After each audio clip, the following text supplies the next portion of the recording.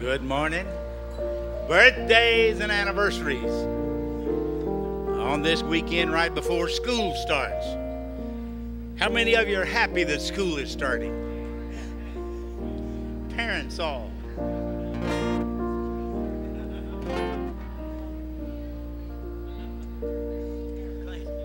Happy birthday, Paul and Cora.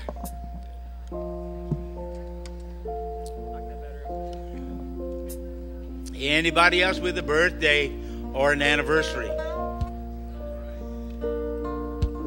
Somebody's pointing over on the, on the right there.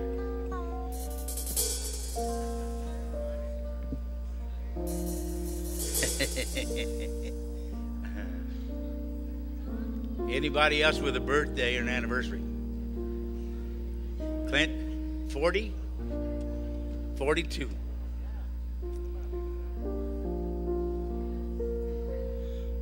Right, our buddy Clint's got a birthday. Anybody else? Jimmy. Yes, sir. This is the guy that you blame anytime the, that the problem, that there's a problem with the sound. All right, Marion Raymond. We got them coming. And this is a good looking bunch here.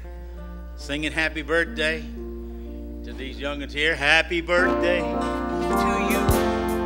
Happy birthday to you. Happy birthday. God bless you. Happy birthday.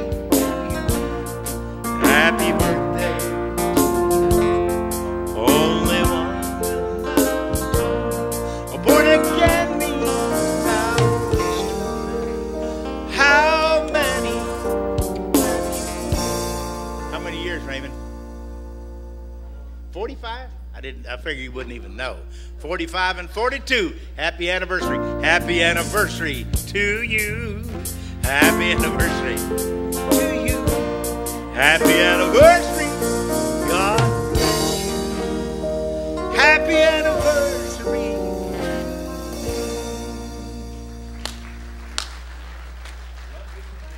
Amen. Good to be in the house of the Lord this morning. Good to see all of you. If you're visiting with us for the very first time, if you've never been with us before, uh, and you're here in service, would you just raise your hand? Our ushers have a, a gift card, a gift, I was say gift card, a gift bag to give you, a card to fill out that right here. If you'll fill that out and tear that off and put it in our uh, offering bag when it comes by. Anyone else visiting for the very first time, uh, upstairs or down below, we want uh, you to fill out that that visitor's card. Any others? Keep looking around. All right, it's good to be here. We had a, a Christian golf tournament this weekend, and we didn't win. Mike and them came in second, barely barely lost. They won it last year. But I think the talk of the tournament was there was a lightning strike. I'd never seen this before. Lightning struck a tree 40 yards from us, and it the tree at the top just exploded. It came down the side and just ripped the tree to shreds. And Larry Raines and Jim Dunlap were 10 yards from that tree. Larry slammed on the brakes, and Jim grabbed his heart and said, Elizabeth, I'm coming home.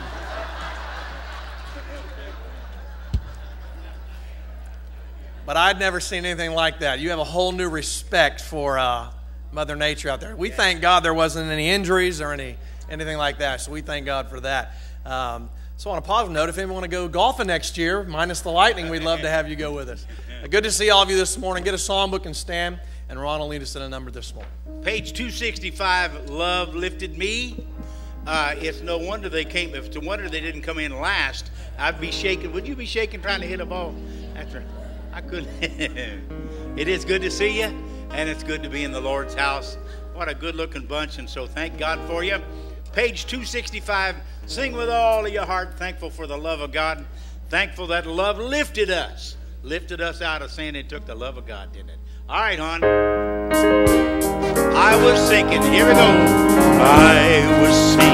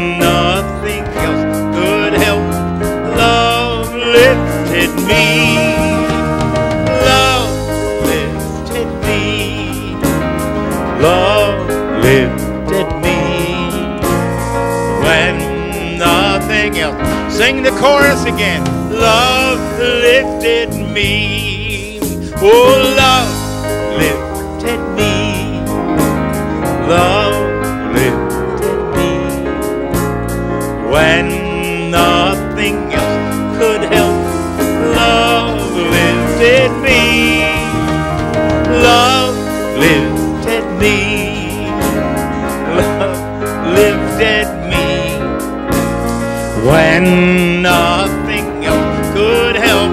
Love lifted me on the last souls in danger look above. Jesus completely saves. He will lift you by his love out of the angry waves. He's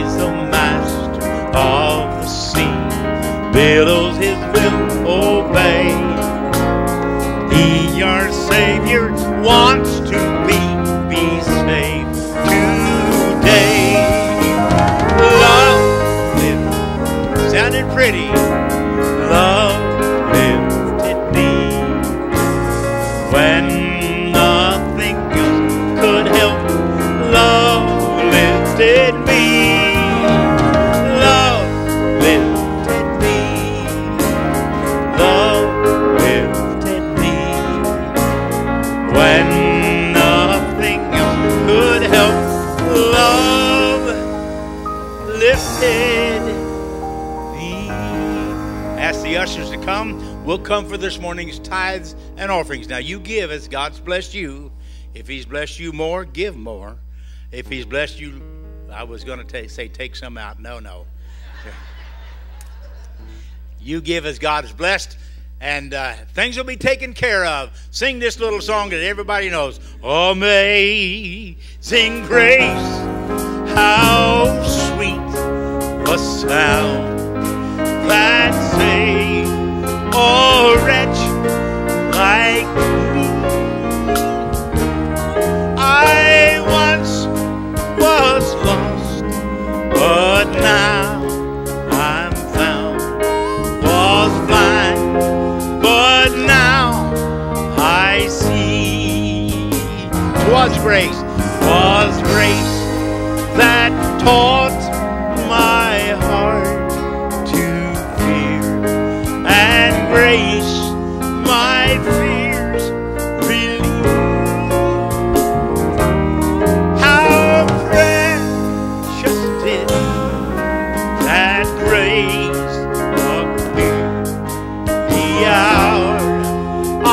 first. Now singing when we've been there ten thousand. Everybody singing when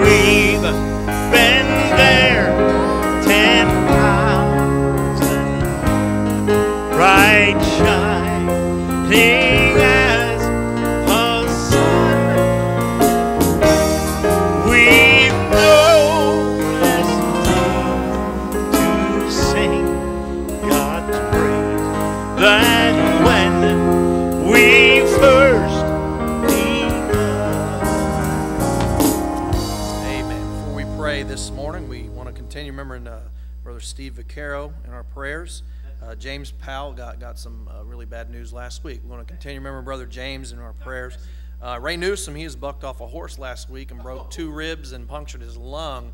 Uh, he, I saw him in the hospital. He was released, but they he was having chest pains and, and they believe he has blood clots in his lung. So he, he was sent uh, to the ER. He's in, in Lakeland, so let's remember him. And it's good to see Marzi and Ken here this morning as well. Let's remember them in prayer as well. Brother Tom, would you pray for us?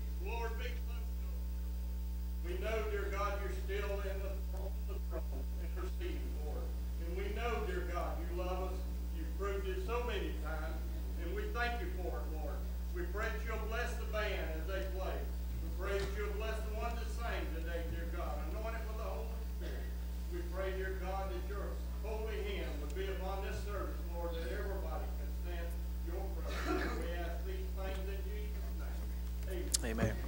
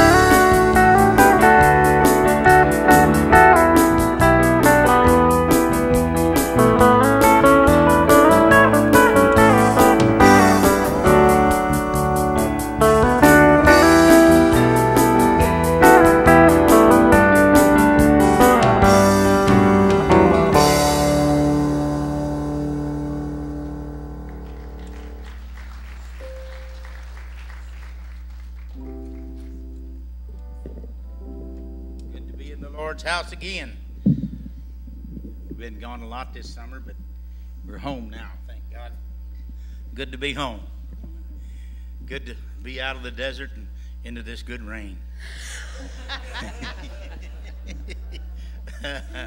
we're floating, Amy BJ. We're, we're underwater out our way. But uh, uh, Teresa Blanton said if we didn't need it, he wouldn't send it. And so I guess that's right, isn't it?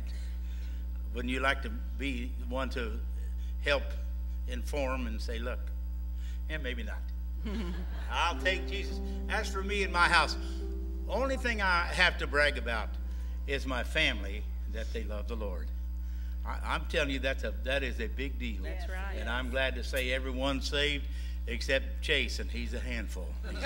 he's a handful. and so, and everybody said Amen. All right.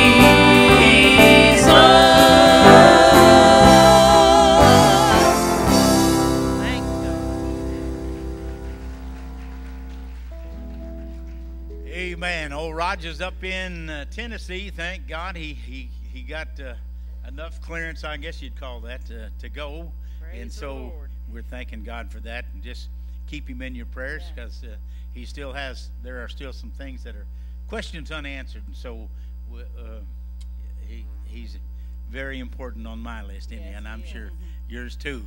Now this Christian life. It's not always been easy. Oh no, I've had days I've had to ask the Lord why. Cause I've seen the heartaches and the pain of some loved ones till it seemed all I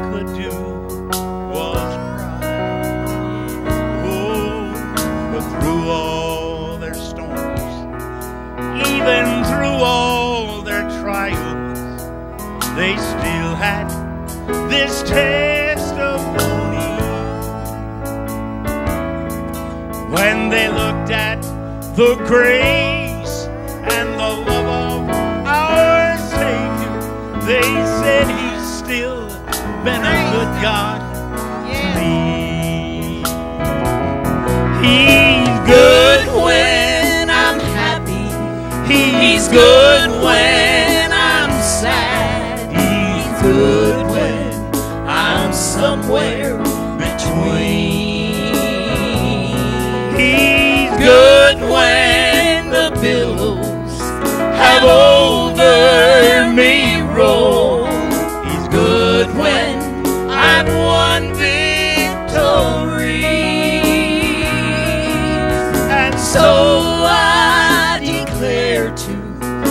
forces of Satan that no matter what the circumstance be, with all of my praise, I'll say of my Savior, He's still been a good God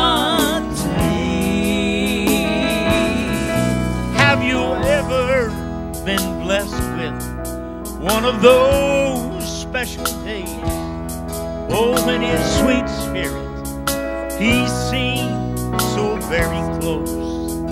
And that's when you were reminded of all the times that He's been there.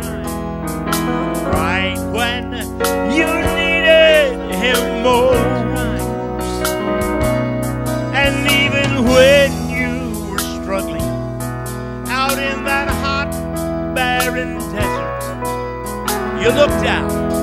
He had sent you a little stream. That's when you looked heaven's way. And my friend, you had to say, Lord,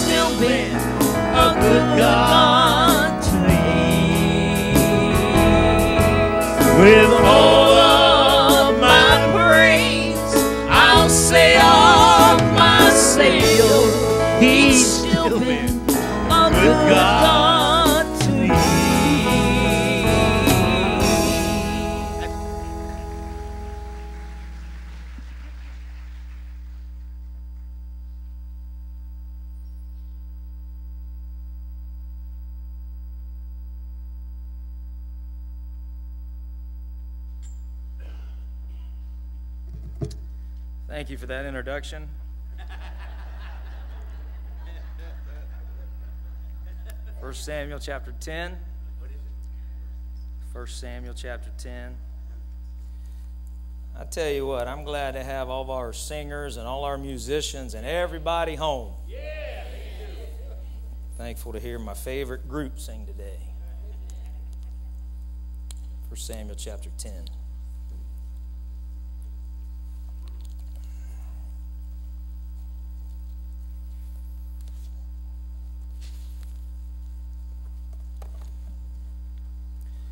First Samuel 10, if you'll stand with us, we'll begin reading in verse 20.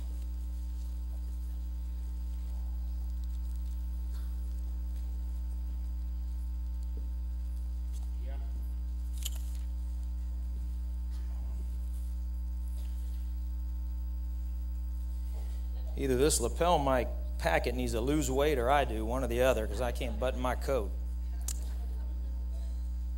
First Samuel chapter 10, beginning in verse 20. The Bible says, And when Samuel had caused all the tribes of Israel to come near, the tribe of Benjamin was taken. When he had caused the tribe of Benjamin to come near by their families, the family of Matri was taken. Uh-huh. And Saul the son of Kish was taken, and when they sought him, he could not be found. Therefore they inquired of the Lord further if the man should yet come thither. The Lord answered, Behold, he hath hid himself among the stuff. They ran and fetched him thence, and when he stood among the people, he was higher than any of the people from his shoulders and upward. Samuel said to all the people, See ye whom the Lord had chosen, that there is none like him among all the people? And all the people shouted and said, God save the king. Then Samuel told the people the manner of the kingdom and wrote it in a book and laid it up before the Lord. Samuel sent all the people away, every man to his own house. Notice verse 26. And Saul also went home to Gibeah, and there went with him a band of men whose hearts God had touched. The Lord would help us this morning. I'd like to preach on the king's band of men. Let's pray. Dear Jesus, we love you. Thank you, God, for your goodness. Thank you for the opportunity to be here today, God. Thank you for keeping our, our church family safe this summer uh, from the many miles they've traveled and that everybody's uh, been able to come back, God. And we just pray, Lord, that your Spirit would help us this morning to, to communicate what you've given to us. God, we love you today. We love our, our people today. We thank you, God, for the band of men in this church that you've blessed us to be able to march with. God, I pray, Lord, that today that you would come uh, and dwell in our midst, dear Jesus, and bless us in a special way. Help us to lift you up. Help us to be an encouragement to your people. And God, we'll give you the praise and honor and glory for anything that's accomplished. In Jesus' name, amen. You can be seated. 1 Samuel chapter 10 records the, the story of Saul being anointed and introduced as the first king of Israel. And if you, you read the events that take place in chapter 9 and the beginning of, of chapter 10, it's an interesting story. What you find is that the, the Lord providentially sent Saul to Samuel, and Samuel explained to Saul all that was taking place. And then he prophesies a, a number of specific events that are going to happen in Saul's life to assure him that God was indeed calling him to be king over Israel. Well, in verse 17 of that chapter, we read how Saul, uh, Samuel summons all the people together to a place called Mizpah. Mizpah was the location where the, the spiritual revival took place back in 1 Samuel chapter 7 before Israel had defeated the Philistines. So Samuel, he, he begins to address the people. And I mentioned to him our, our Sunday school class this morning, I'm not all that sure how excited Samuel was to be in this meeting here, all right? He comes to the people and he, he starts out with probably should be somewhat of a celebration with kind of a, a stern reminder. He basically says this He says, Guys, I want to remind you that God's been faithful to you. I want to remind you that He delivered you from Egypt and that, to be honest with you, if you just let things go, everything would have been okay with Him in charge. He watched over you, He provided for you, He protected you from your enemies. But in spite of all that, you have continued to ask for a king yourself, so God's going to give you what you want and what you've asked for. Israel said, We want to be like other nations. We want to have a king of our own, so God gave them what they asked for. So Samuel calls the tribes to come together. And as we read, he specifically called for the tribe of Benjamin to pass by and Saul is identified as the new king. Now, Saul and Samuel already knew this because he'd already been anointed. But before the people, Samuel wanted to show that Saul was the chosen one. But as we read, an interesting thing happens. When Samuel says, Saul, son of Kish, come forth, there were crickets. You know how, how it is sometimes when we're preaching up here? Crickets. Yeah. Saul, son of Kish, come forward. And everyone's kind of looking at each other. And you know what happens? Where's he at? Where's our new king? This is an exciting day. Where's our fearless leader? And God says, uh, He's hiding back where the luggage is. He's hiding back where the wagons are. Oh my goodness. Go get him. Go get him. Bring him to us. Now, some Bible scholars suggest that this was a, a sign of Saul's humility. I'm not buying that for a minute, all right? Saul was scared, okay? So, and, hey, let, me, let me say this I would have been too. I believe he was overwhelmed by the whirlwind of events that had transpired in his life. Uh, picture this he had been sent on a journey by his father to find a bunch of lost donkeys. How'd you like that for a job? You're the donkey finder, all right? Go find the lost donkeys. And hey, that's all Saul knows when he leaves his house that day. But within just a few hours, a couple days, here's what happens Next thing he knows, oil's being poured on his head. Everything's being prophesied about his life and it's coming true. The Spirit of God comes upon him. Now Samuel's standing in front of all of Israel saying, Hey, Saul, you're the man. So I'm going to give Saul a mulligan right here if that'd be okay. You golfers from this weekend, all right? I can understand why he'd be a little overwhelmed. Verse 23 says they go and find him. It's obviously an awkward situation. It's an embarrassing situation. So you know what Samuel does? Samuel plays up his physical characteristics. Samuel's thinking, well, he might be a coward, but he's a good looking guy. He's big and strong. He's taller than everybody else. So Saul plays up, or Samuel plays up his physical characteristics and he introduces him to the people. And when the people finally lay eyes on their king, man, they get excited. They start cheering. The Lord's given them what they've asked for. They're like all the other nations now. They're feeling patriotic. He's impressive in stature. And in this time of excitement and celebration, the Bible says they all, all the people together begin to shout, God save the king. I mean, they're having a big time. It's like a big pep rally, is what it is. Well, verse 25 tells us that Samuel explained to the people how things were going to operate now that they have a king. He said, This is how the kingdom is supposed to be run. And with those orders, the celebration is over. Just like that, it's done. All right, the king's not whisked off into the sunset. There's no royal ending or conclusion. This historic event of the nation of Israel, it's done. And I told you, I don't think Samuel was all excited about being involved. He says, All right, we're done. You all go home now. Just go home. Well, that's what they do. They start heading to their hometowns. Here's the king. I'm assuming he had a crown on. Everybody just takes off walking, and Saul's just kind of looking around. So, you know what Saul does? Guess I better go home too. So Saul's going to head back to Gibeah. Now I want you to think about it. I mentioned it already. What was his status when he came from Gibeah? He was a donkey searcher, donkey hunter. And now he's coming back as the first ever human king of Israel. Are you thinking you might be a little overwhelmed? You thinking his face might look like this? What in the world have I got myself into?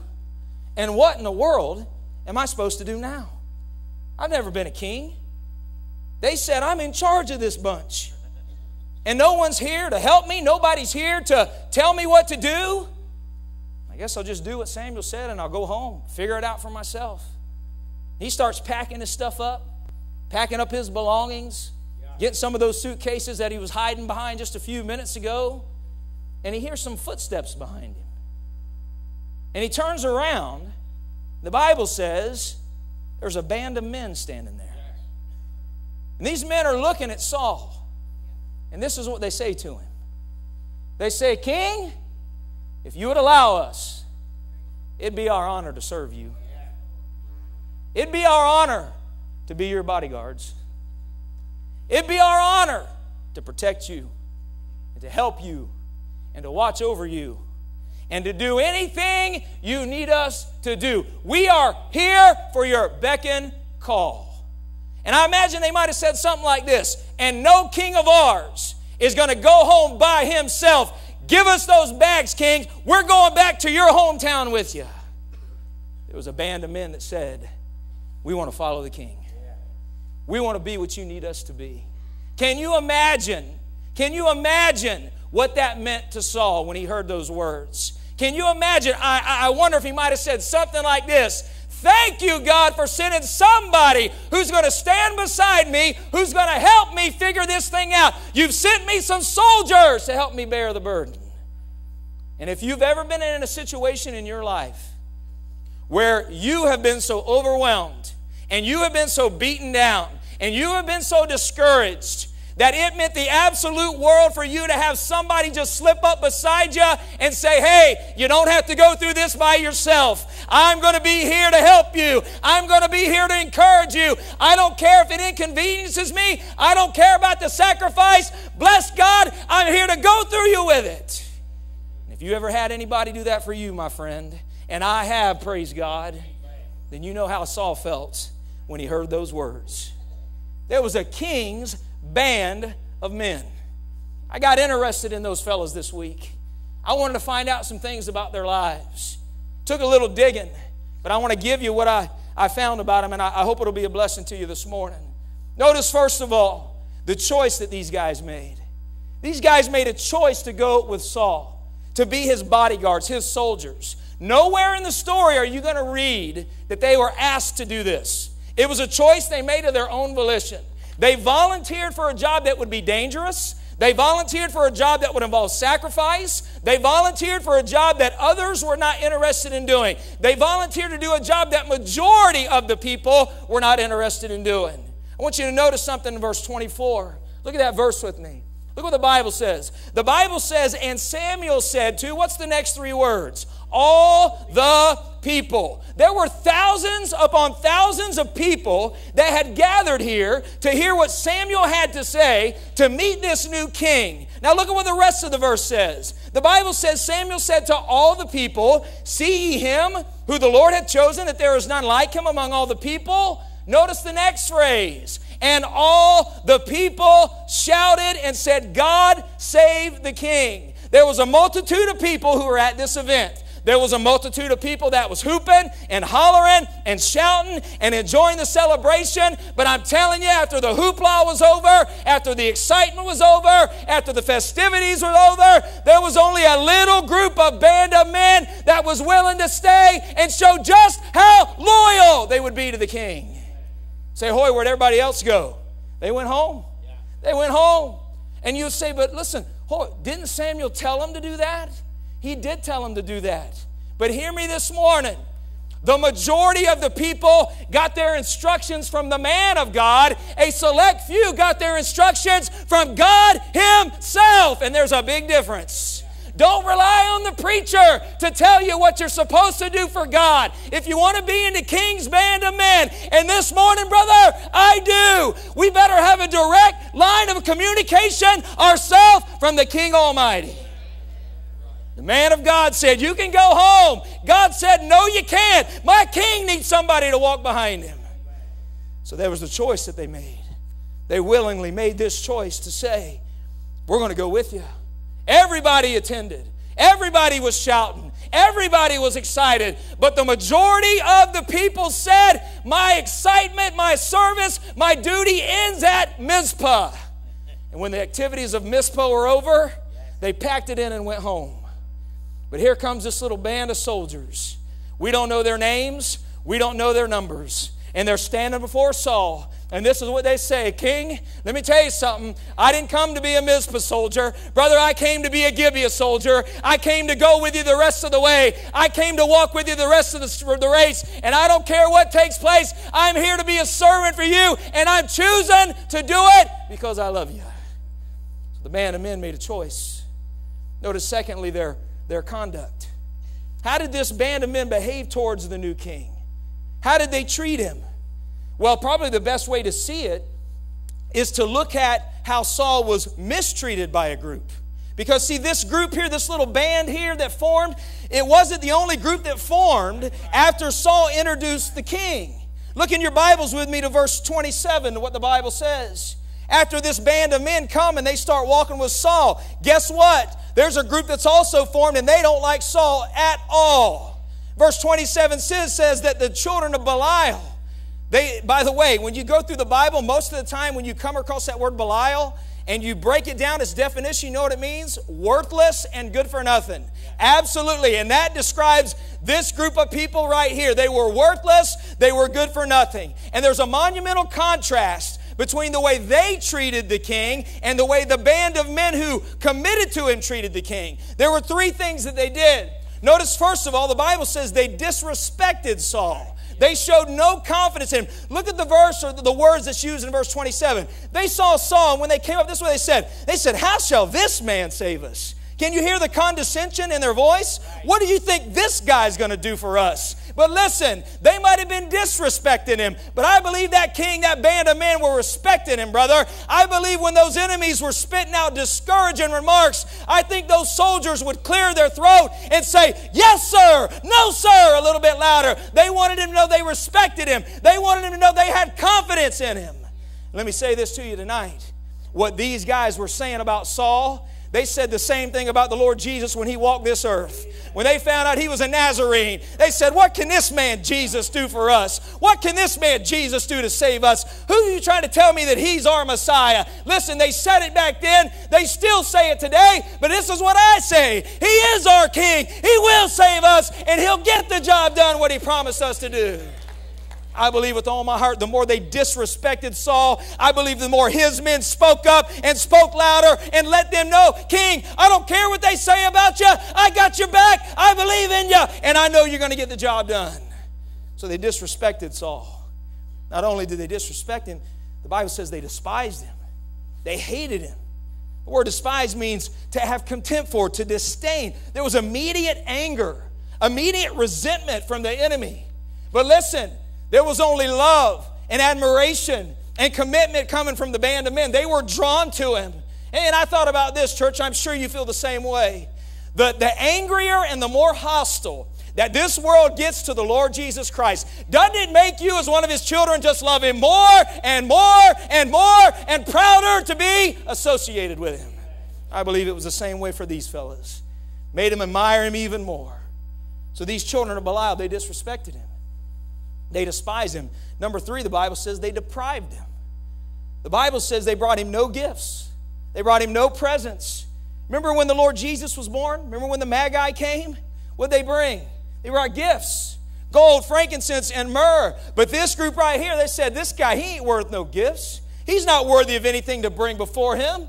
But listen, this was not the case with these band of men, because I guarantee you this. If Saul went home that day with any gifts, who do you think brought those gifts to him? I believe with all my heart it was this band of men that said, Hey, nobody else might give you anything, King, but we love you, brother. We're going to be by you, brother. Here's some gifts. It might not be much, but everything I have, I'll give to you. let me ask you this this morning. How many of you know we got a king that's worthy of everything we can give him? We got a king that's worth of anything we can give him. Give him your talents. Give him your love. Give him your heart. Give him everything you got. You'll never regret the day you give him everything. And that's what these fellows did. So there's their choice, there's their conduct. Notice, thirdly, their character. That phrase, a, a band of men, it tells us three things about the makeup of these guys. Here's the first thing it tells us these fellows here, number one, they were brave, they had guts. They're described as valiant, courageous.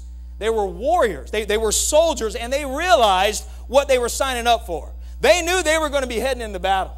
They knew that they were going to be putting their lives on the line. They knew there was going, they were going into conflict, and they knew that they had to protect Saul, and they were willing to do that. They were going to support whatever cause he had. They were going to serve him in any kind of danger or any kind of emergency. They weren't afraid of the battle. And let me tell you this they weren't ashamed to be identified with the king. Let me tell you something, kids, as you go back to school, don't be ashamed to be identified with the King of Kings. They weren't identified, they weren't ashamed to be identified. So we, we know from this phrase they were brave. But not only were they brave, we need to recognize their brawn.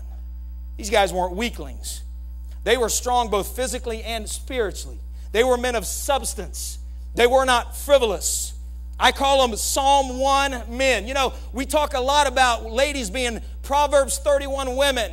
Guys, I don't think we talk enough about what kind of scriptural man we need to be. We need to be a Psalm 1 man. You say, what's a Psalm 1 man? A Psalm 1 man is somebody that has spiritual strength. He is godly in his character. He is not, here's how the Bible describes. He says he's not like the chaff which the wind blows away. What is he, buddy? He is pictured as a tree that is planted, that is grounded, that is rooted, that is sturdy, that is standing upright and strong in a world that's getting more wicked and there's more compromise and more temptation. He is standing strong for the Lord Jesus Christ. That's what a Psalm 1 man is. And that's what we need in our church. Listen to me this morning. Contrary to popular opinion, the need of the hour in the church is not the raising up of a generation of Christians that are more cool or more hip or got more swag. Listen, you can keep your swag, you can keep your style, you can keep your flashy. Give me some good old fashioned, faithful, dependable, bold men of God. We'll get something done for the glory of God. I thought about this. No person in my life that ever had an impact on me, Mike Perry. I didn't care how cool they were. I didn't care how stylish they were. I watched their life. They loved the Lord. They were faithful. They were dependable. That's what made an impact on me. That's a Psalm 1 man. Men that have spiritual depth to them Men that have a desire to learn and read and study and hear the preaching of the Word of God. Men who will stand up and lead their families and not look over at their wife waiting them to do it. Men that will stand up like Joshua and say, As for me and my house, we're going to serve the Lord. That's a Psalm 1 man. Apostle Paul's finishing his letter, his first letter to the Corinthians. And in chapter 16, this is what he writes to them final instructions. He says in verse 13, Watch, stand fast in the faith, quit you like men, and be strong. You know what he's saying to them? Fellas, be alert. Be firm. Be mature. Don't be like a little boy. Act like a man spiritually and be strong. And these characteristics describe Saul's band of men as well. They were brave, they had brawn. Thirdly, notice the word band. The word band tells us something about their unity. The word band carries with it an idea of something that causes us to unite. It's something that encircles us. It's a commitment of unity. What are you wearing on your fingers, most of you? A wedding band. It's a symbol of a man and wife united in holy matrimony. If you go to a football game and at halftime there's a marching band, they have to be unified in their cadence and in their steps and in their sync. And even a, a, band of musicians, our musicians up here, they have to be unified to play the right notes at the right time. That's what a band represents. It represents unity. In this particular case, the word is used to describe a group of soldiers that are working for or fighting for a deliberate or common cause. That's what these fellows were doing. They found a cause that unified them, they found a cause that brought them closer. The focus was not on their individual preferences or their individual desires or the way they thought things should be done. The focus was on the task at hand. And the task at hand was serving, following, and protecting their new king. Let me say this to you. Nothing will bring a group of people together in a ministry faster than getting a fresh and renewed focus on the things that are really the most important the gospel of Jesus Christ. That'll get you unified. Heard a preacher define unity this way. He said, Unity is not the absence of different opinions, and unity is not an even occasional disagreement. You know what unity is? It is the rallying around of the things that are most important. It is the rallying around of the things that most matter. And this band of men, they were united. They were banded together. Well, well, Hoy, what unified them? Did they all come from the same countries? No idea. Did they grow up together? Couldn't tell you. You know what united them? They had a common mutual love and affection for their king. Not only that, but they had a mutual affection for their kingdom. Remember what Samuel said in verse 25? The Bible said after he was anointed, after Saul was anointed, Samuel began to tell them about how the kingdom should be run. So these had these men heard what Samuel had to say and they said, "We not only love our king, we're going to do what we can do to make sure the kingdom expands and the kingdom goes on, and that's what God has called us to do in this day and age." So they were unified. We've seen their choice. We've seen their conduct, we've seen their character. Lastly this morning, notice their conviction. What was it about these guys that prevented them from going home like everyone else did? What was it about these guys that, that was different? Because I want you to consider this. Saul, at this point, had not done one thing to prove he's even worth following. You know his lone point on his resume? Yeah. He was hiding back by the luggage. What was it about them? Because trust me, it was not about Saul. What moved them? That in spite of that, they said, we're going to follow you. We're going to serve you. We're going to protect you. We're going to do your work. We're going to help you. Well, the answer is found in the last five words of verse 26. Why did they do these things, Hoy? Let me tell you why. Because God had touched their hearts. God had done a work in the hearts of these guys. And God called them to this post. And I, I believe with all my heart there's something very important that needs to be emphasized in that verse. It is the word touched. The Bible says God touched their hearts. It does not say God spoke to their hearts. You say, well, well, Hoy, is there a difference? Are you splitting hairs there? I believe there is a difference. And I believe we illustrate it with our communication one to another. It's one thing for me to say something to you. I, I can come to Will and I can say, Will, I love and appreciate you. And I, I'm sure that encourages him. I'm sure he is thankful for that. But when I say, Will, I love you, buddy, I love you, and I put my arm around him and I hug his neck, it becomes more personal. It becomes more powerful. Every morning when I leave for work, I can yell as I go out the door, Jody, I love you. But she would rather have me come and give her a hug or a kiss because it's much more personal and it is much more powerful. Let me say this to you this morning. When He touches your heart, you're going to know it. There's times He'll speak to us. There's times He wants to take those nail scarred hands and He wants to touch our hearts with them. it's more powerful, it's more personal.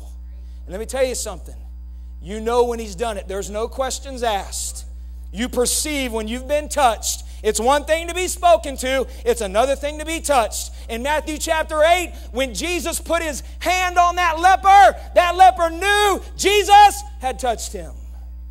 And we know we've been touched. We have situations sometimes out in the foyer after church. There's 100 miles an hour people coming back talk, and there'll be someone standing right in front of you talking to you. You don't even know it. I don't even know it. What do they do to get your attention? They touch you. They grab your hand. They put their hand on their shoulder. They smack you in the face. They say, I'm talking to you. What are you saying, Hoy? Their hearts were touched. But this is very, very important. Do you know that God is always looking for hearts to touch? This morning, He didn't come to just speak to you, He came to put His hands on your heart. But it's not a one man show. He doesn't make us sit there and allow Him to touch us. You got a choice whether you let Him touch you or not. Amen. You say, Hoy, are you telling me that the King of glory has a desire to touch somebody's heart and somebody would say, No, Lord, I don't want you to do that today? You mean the one that is the answer to every problem we have? You know the one that, that loved us so much, he went through more than we can ever imagine to go to heaven. He wants to put his hand on our hearts, and some will say, No, I, I don't want that today, Lord. Happens every week, happens every service. He comes and he wants to touch some people's hearts for salvation. He wants to save you, he wants to take you to heaven, he wants to pull you out of the depths of hell. And he goes to touch your heart. He might even be trying to do it now and we say, No, Lord, I'm not ready today. We have an excuse for why. Oh, Lord, I've done too much, it's too bad. I don't have the faith to believe, God. I, am not ready today. I don't have the, the courage to step forward. Excuse after excuse after excuse, and every excuse we give, we push the hand that loves us the most away from our hearts. He tries to touch people for salvation. Listen to me, Christian. He tries to touch your heart for service. You know as well as I do, He's been speaking to some of y'all yeah. about doing more for His work. Yeah. You know you've been saved. You know you're going to heaven. You know God's blessed you more than any of us deserve. And today He walks up and down the aisles. And you know what He's saying? I got something I need your help with. I got something that I'd like for you to help me do. Sometimes when He reaches to our hearts, young people, we need your help. We need your help. We need you not only to just come and go to activities, and I appreciate Debbie and Johnny and all they do, and how they make an impact on them when they go to the mission trips. We need more, brother. We need you to take the talents that God has given you and use them for His honor and glory to help the church go to another level. I want to touch your heart today for service. But no, Lord, I don't have the talent. The job's too big for me. I don't have time. Other kids will make fun of me. My family does that. We pay the staff, the church staff to do those things. No, no, guys. Our king deserves better. Our king deserves better. And every person in here, even if you're visiting, God has given you something, some talent He has given you that He wants you to pour out and bless someone else with. He wants to touch hearts all the time. And this is what happens when you allow Him to touch you. You know what his touch does? It illuminates. When he touches our hearts, all of the trash, all of the trees that are in front of our vision, when you let him touch them, boom, they're gone. And you know what you see? The very thing the devil's trying to keep you from seeing the magnificent glory of our Heavenly Father. And when I see that glory, you know what it makes me do? It makes me want to love Him more. Makes me want to serve Him more. Makes me want to say, you know what? Because I have seen His glory and I've allowed Him to touch my heart, righteousness is much more appealing and sin is much more appalling. That's what it does when He touches your heart. You know what I heard one preacher say? He put it this way He said, To be touched by the Lord is to be made to feel. How many times have you heard people say, Boy, I feel the Lord's presence? You know why? Because you've allowed Him to touch you. You don't feel a spoken word, you feel a nail scarred hand. My grandpa Bjorn was here. He explained it this way. He'd say, "'Twas battered and scarred, and the auctioneer thought it scarcely worth his while to waste much time on an old violin, but he held it up with a smile. What am I bid, good folk? He cried. Who'll start the bidding for me? A dollar? A dollar? Who'll give me two? Two dollars. Who'll give me three? Three dollars once, three dollars twice, going for three, but no. For from the room, a back, the back a gray haired man stands up, came forward and picked up the bow. Then, wiping the dust from the old violin and tightening up the strings, he played a melody pure and sweet, as sweet as the angel sings. The music ceased, and the auctioneer, with a voice that was quiet and low, said, Now what am I bid for the old violin? And he held it up with his bow. Thousand dollars? Who'll make it two? Two thousand? Who'll make it three? Three thousand once, three thousand twice, three thousand gone, said he. The people cheered. But then they exclaimed, We just don't quite understand. What changed the violin's worth? And the answer came Twas the touch of the master's hand. And many a man with a soul out of tune and battered and scarred by sin is auctioned cheap by this thoughtless world, just like the old violin. But the master comes, and the foolish crowd never can quite understand the worth of a soul and the change that is wrought by the touch of the Master's hand. It's different when He touches you, it's different when you allow Him to touch you. And these men allowed God to touch them, and it gave them a heart for a king that didn't even deserve it. Can I say to you this morning, our king deserves it. This was not a superficial act. This was real, genuine, and deep rooted because they allowed Him to touch their hearts. That touch gave them passion and zeal for the cause. It moved them to be selfless and devoted to the King, no matter the sacrifice. God said there was a band of men that decided to follow the King. I want to close with this. I love my sister. I love Angie. And our family's always been me, her, mom, and dad. So don't, under, don't misunderstand what I'm saying. I love Angie. I would not trade Angie. I would keep Angie. Brett, I hope you say the same. But I think probably in the heart of every boy, you would also like a brother. And Angie would probably say, Well, oh yeah, I would have liked a sister too. Not instead of Angie, but in addition to Angie. I would have liked a brother. Hang out with, play ball with, do things that brothers do. God didn't give me brothers, but He gave me some cousins that are like my brothers. This week, when I thought about a, a band of men who follow the King, whose hearts have been touched, I don't have to go looking for another church to find those band of men. God's allowed me to walk with them my whole life. Well, I want you and Ron and Jeff to come right here if you would. If you stand right there. We've uh, we played together, grew up together, fought together, got in trouble together. And now we get to serve together, we get to minister together. But it's not just my cousins that are my brothers. I got uncles that were encouragers, helpers, motivated. Marsh, I'm glad you're here today, bud.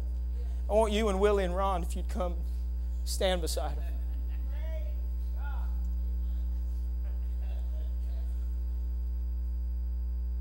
I said I didn't have brothers, but I got two of the best brother in laws you would ever want in this world.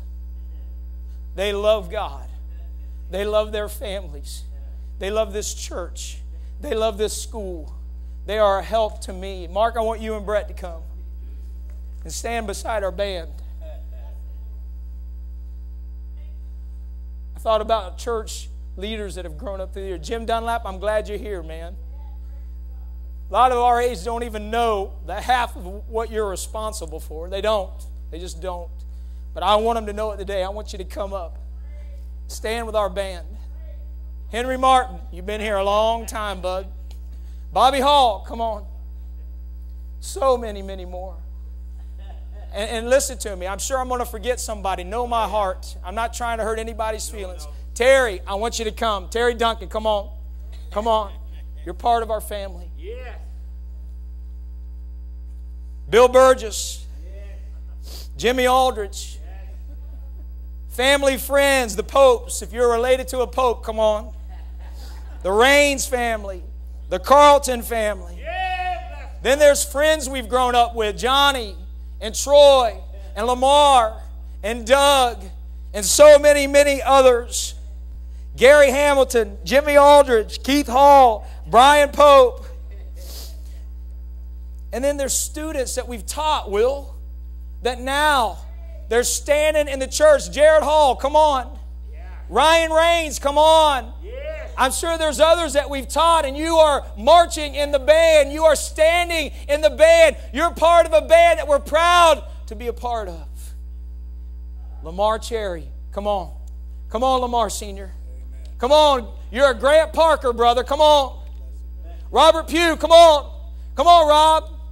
Grant Park, old school, buddy. We know all about it. A band of men. Then there's been a whole new wave, Ron, that people have sent down through the years. Mike Perry, come on. Bob Larkin, come on. Mike Miller, you're practically a brother in law, come on. Brian, come on. All of you, come on. If you know Jesus as your Savior, Brother Tolbert, come on and get in the band. Brother Dale, you're in the band. Brother Nelson, you're in the band. You're in the band. If I don't even know your name, you're in the band. Cecil, you're in the band. Rocky Stanley, you're in the band. Jason's in the band. You're in the band if you know the Lord Jesus Christ as your Savior. Every one of you here, if you've accepted Christ as your Savior, fellas, and if you would, come and join hands with our band this morning. And here's the best part, fellas. Here's the best part. Our kids are in the band. Our kids are in the band. I not only get to help serve with my cousins and my brother in laws and my brothers and my dad, I get to serve with my sons and my nephews. And let me tell you something this is not a Duncan band. This is not a Beauchamp band. This is not a Free Will Baptist band. This is a Jesus Christ, King of King band.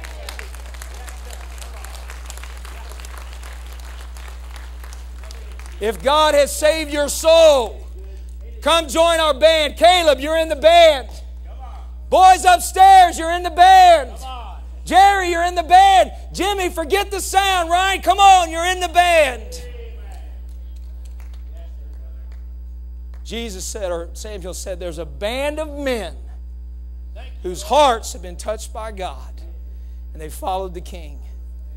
May we be men like Joseph who would flee sin. May we be men like Moses who would forsake the pleasures of Egypt and choose to suffer affliction with the people of God. May we be like Abraham who looked for a city whose builder and maker is God. May we be like Joshua that said, As for me and my house, we'll serve the Lord. May we be like David, even though he made the biggest mistakes of his life, he was still a man after God's own heart. May we be like uh, Elijah with the power that he had, and Elisha with the double portion that he had, and Isaiah when he said, Here am I, Lord, send me. May we be like Jeremiah with the, uh, the burning word inside our heart that we cannot keep it to ourselves. May we be like Daniel and purpose in our hearts. We will not defile ourselves with the king's meat, nor with the wine which he drinks. We're going to open our windows and we're going to pray to the living God. We be like John the Baptist. When all the attention came to him, you know what he said? He must increase, but I must decrease.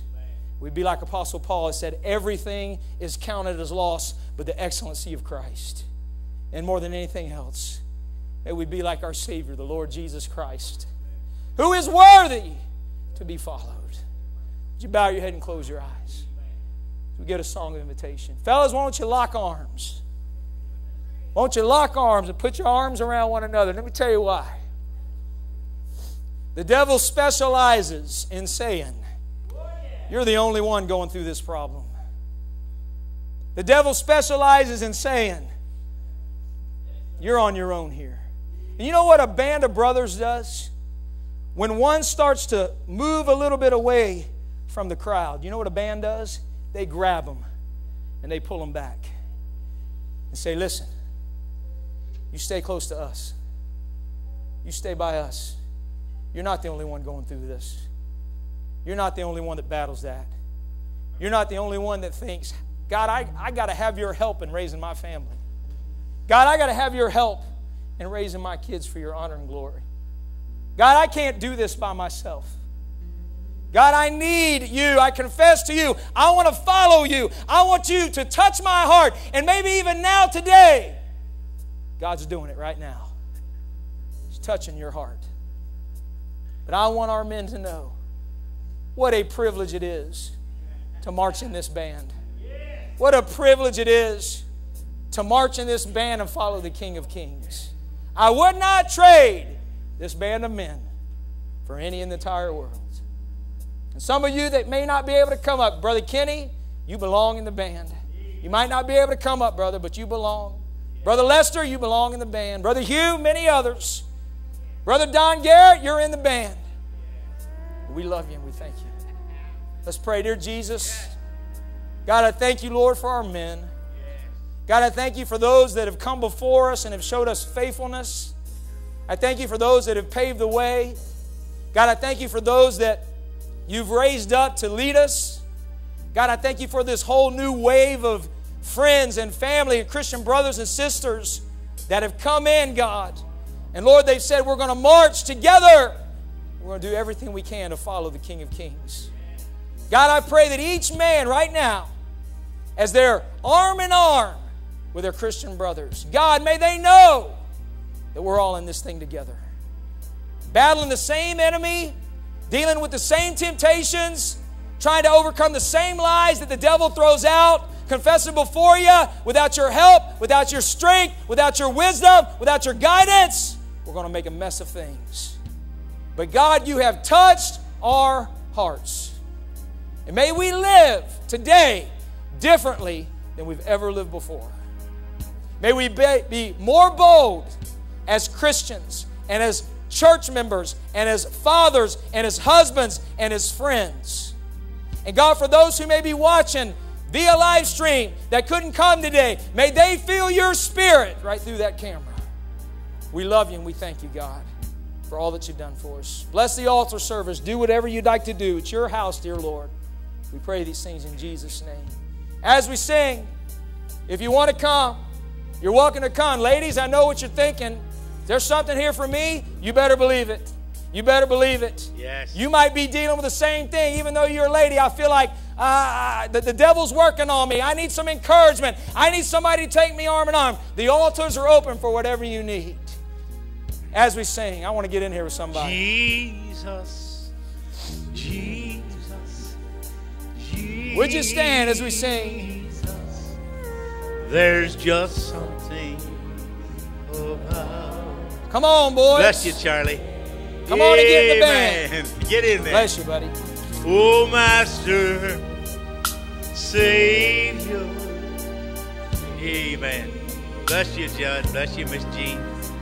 Like the fragrance after the rain. Bless you, brother Moses. Jesus, Jesus. Bless you, buddy.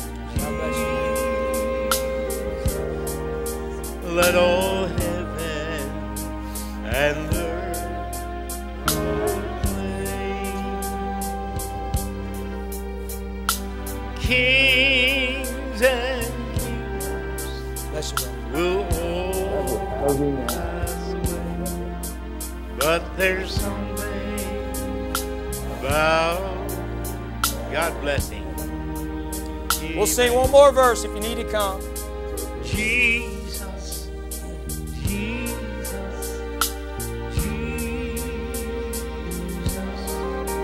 There's just something about that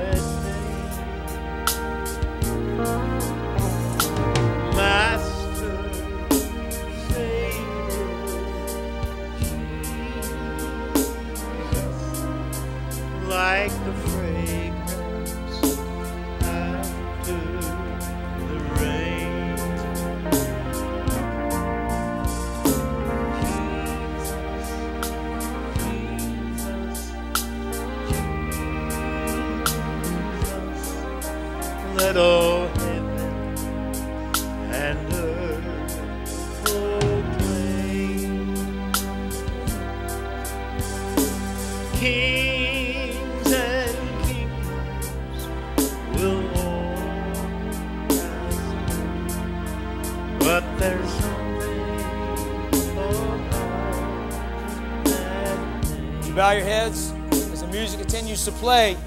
You might be saying, Boy, how do I get in this band? Yeah. What, what do I got to do to, to be part of this group that, that follows God with all of his heart? Listen, you got to accept him as your Savior. Yes. You got to trust him as your Lord and King. You have to say to him, I realize I'm a sinner, and the only way I can go to heaven is through your Son and the blood of Jesus Christ. That's how you join the band. I said before, it's not just about this church or a particular family, it is about a family of God. And so if you're here this morning and you would be honest and say, you know what, Hoy, I've never trusted Christ as my Savior. I've never prayed a prayer and asked Him to be the Lord of my life so that I could spend eternity with Him. Is there anyone here this morning while heads are bowed and eyes are closed and no one's looking that you would just slip your hand up so we could pray for you? You would just slip your hand up and say, "I- I've never asked the Lord Jesus into my heart.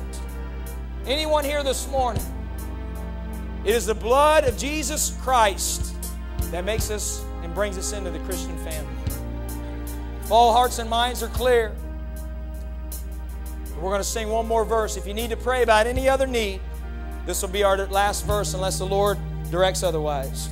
I was shackled by a heavy burden. Neath a load of guilt and shame. Then the hand of Joshua said he wanted to join this band, and man, he accepted Christ this morning as his Lord and Savior. Amen. Praise God for that. Anyone else need to come? He touched. Oh, he touched me. And oh, the joy. Fellas, if you'll out of the way of the altar, I think we got some more that want to pray. Amen. If you need to pray, would you come? You need to pray. happened, and now I know. I get some ladies to come up and pray with this one. Any others? and he made And since I met this blessed Savior, since he cleansed and made me whole, I will never cease to praise him. I'll shout it while eternity